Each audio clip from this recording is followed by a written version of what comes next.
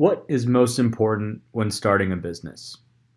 When we think of a business, many things come to mind suppliers, manufacturers, producers, wholesalers, retailers, customers, transportation, and money.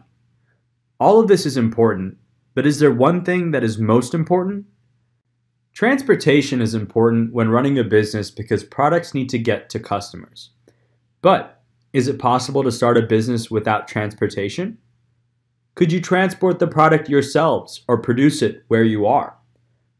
What are some ways to do this?